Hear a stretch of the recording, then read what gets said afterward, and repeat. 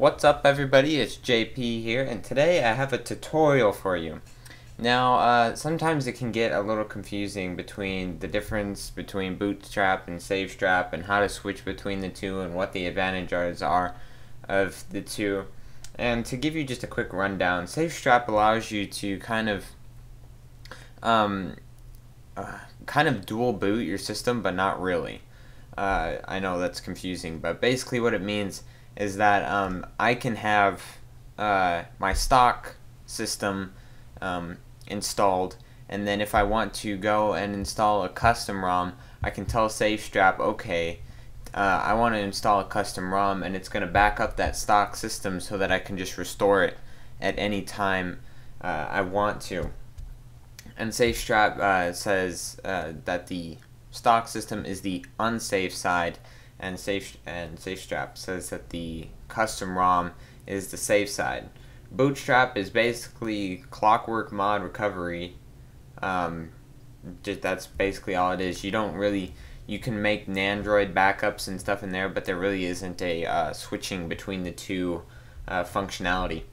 But um, in this video, I'm going to be showing you how to uh, switch from SafeStrap to Bootstrap. Now I've been using SafeStrap because I've been uh, installing some uh, AOSP ROMs and ROMs that uh, can be flashed in SafeStrap and I really like SafeStrap just because it's so easy to uh, kind of switch between the stock system and um, the uh, the custom ROM and uh, overall it's just been a really great experience for me. But um, what if okay so there's two reasons you would want to switch from SafeStrap to Bootstrap and one of them is you want to install a ROM that is based off of the stock ice cream sandwich software from Motorola. And the other reason is that you just hate SafeStrap, which I hope you don't hate SafeStrap because it's a really nice tool. And I completely get why you would want to go to a blur-based ROM because uh, there are some really, really good ones out there that are only flashable in Bootstrap. So all of that aside, let's just jump right into it. So if you already have SafeStrap on your phone and everything, basically what you're going to have to do is, uh, you know, of course, make your backups if you want. If you don't want to, then uh, that's a risk you're taking. No data should be destroyed in this process, but, you know, you can't ever guarantee anything. Um, also, you need to make sure you're in the non-safe environment on SafeStrap. And if you don't know how to do that, that's another video I'm going to be doing is how to use SafeStrap, how to flash ROMs in SafeStrap, all that good stuff. But you need to be in the unsafe side of SafeStrap. That basically means you need to be on the stock Motorola ice cream sandwich software or whatever stock software you're running. So if you meet all of those requirements, all you're going to need to do is uh, go into the SafeStrap app, which you should have installed because that's where you um, installed SafeStrap and then all you're going to do is just hit the uninstall recovery button. And that's basically going to uh, uninstall SafeStrap so we're just going to hit that and we should yep then it says uh, recovery state not installed. And then um, then uh, after that all you have to do is now we can go we should be able to uh, install Bootstrap, but just to be sure that the recovery is indeed removed, we're going to reboot the phone. So I'm going to power off here, and then we're going to uh, boot boot back up, and we should not see that uh, message that says, "Oh, you're in the unsafe side," or "Oh, you're in the safe side," whatever. So let's boot up here, and we'll get the uh, boot splash screen.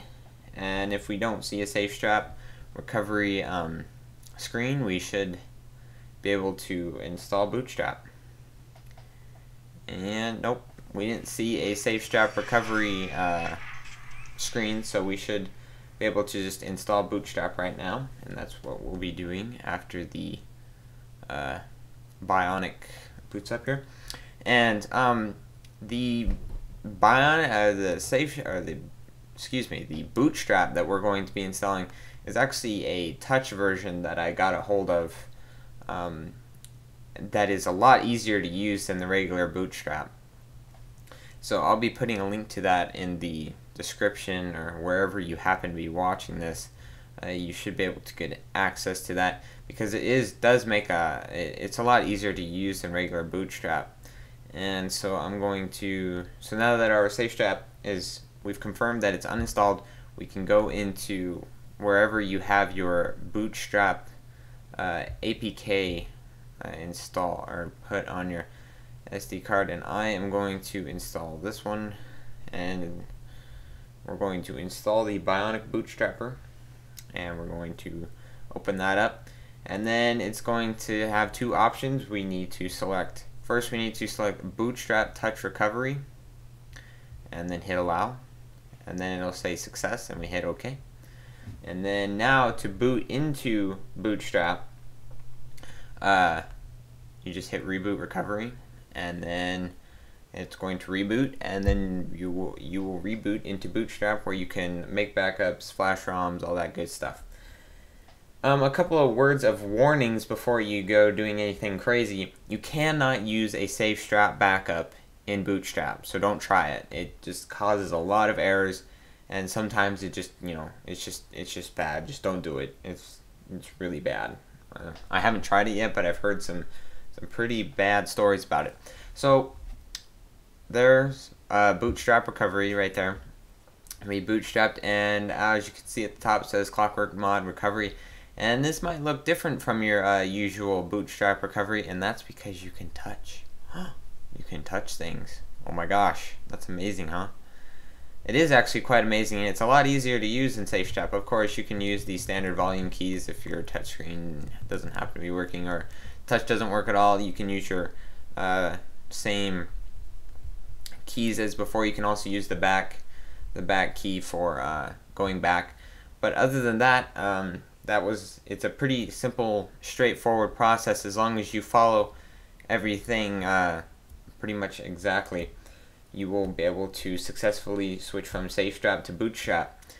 And if you want to switch back from Bootstrap to SafeStrap to install uh, the other ROMs for your safe side or you just prefer SafeStrap and um, that video is also up and I will have a link to that up in the corner somewhere and also in the description that you can uh, go switch back to SafeStrap from Bootstrap so that you can uh, get back to flashing your your ROMs in SafeStrap.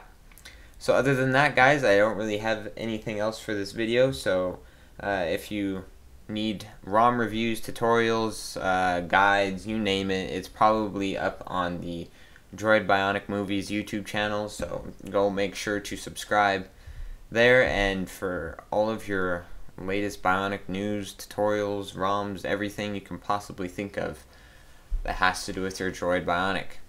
So that's all I have for today guys, I'll see you in the next video.